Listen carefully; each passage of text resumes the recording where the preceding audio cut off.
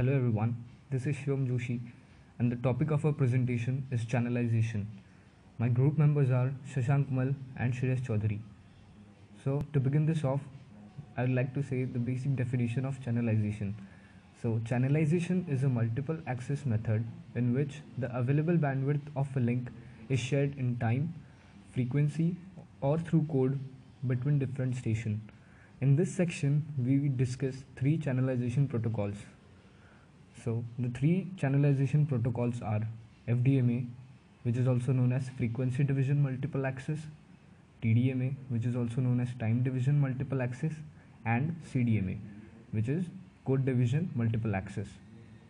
So to begin this off with FDMA. So in FDMA, the available bandwidth is divided into frequency bands. Each station is allocated a band to send its data each band is reserved for a specific station and it belongs to the station all the time. Each station also uses a bandpass filter to confine the transmitter frequency. So this is the schematic representation of FDMA. So features of FDMA are in FDMA every user shares the frequency channel or satellite transponder simultaneously. However, every user transmits at single frequency. FDMA is compatible with both digital and analog signals. The FDMA demands highly efficient filters in radio hardware contrary to CDMA and TDMA. FDMA is devoid of timing issues that exist in TDMA. As a result of frequency filtering, FDMA is not prone to near far problem that exists in CDMA.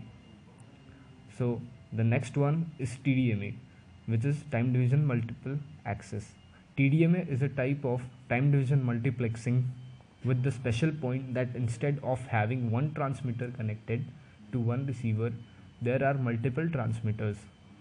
In the case of the uplink from a mobile phone to a base station, this becomes particularly different because the mobile phone can move around and vary the timing advance required to make its transmission match the gap in transmission from its peers.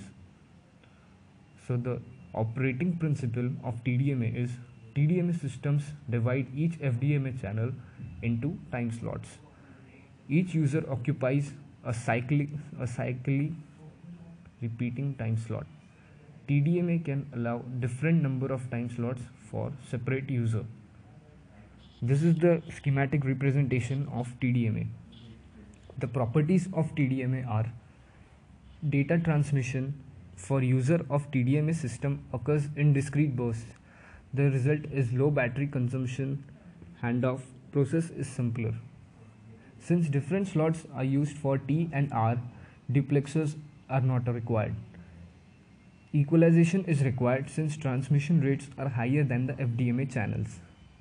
So the next and the last one is CDMA. CDMA simply means communication with different codes. In CDMA, only one channel occupies the entire bandwidth of the link. In CDMA, all stations can send data simultaneously since there is no time sharing.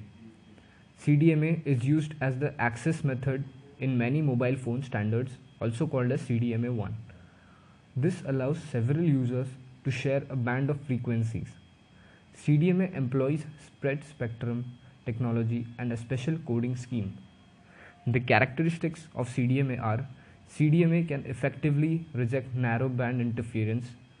CDMA devices use a rake receiver which exploits multiple delay components to improve the performance of the system. In CDMA, the same frequency can be used in every cell because channelization is done using pseudo random codes. CDMA system uses a soft handoff which is undetectable and provide a more reliable and higher quality signal. So the given diagram or the given schematic representation is a representation of CDMA. So that's all for today.